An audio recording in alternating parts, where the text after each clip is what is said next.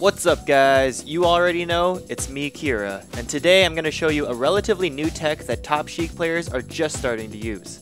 It's commonly referred to as the Sami stall or the Sung stall, depending on who told you about it first. Uh, to be honest, I could have named it anything I wanted to since I'm the one making the video and showing it to all of you, but in any case, we'll continue calling it the Sami stall for convenience sake. Most of you know about Sheik's Shino stall on the edge, and if you don't, then you should check out our other tutorial on it. But there's an even faster way to ledge stall with Sheik. Simply by aiming the first part of your up B, you can grab the ledge before your explosion goes off and refresh your invincibility perfectly.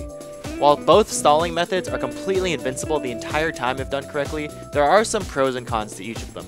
The pros of Sami stalling include it's way faster so you can act in smaller interval timings, there's less time away from the ledge, so it's harder for an opponent to steal the ledge from you.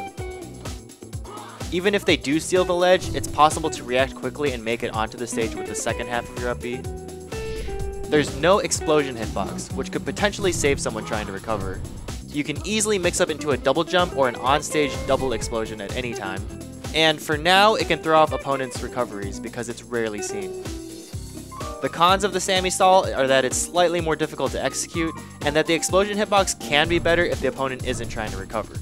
A couple tips for this. Sometimes it's easier to ride up the wall to get the Sami stall by angling your control stick slightly towards the wall.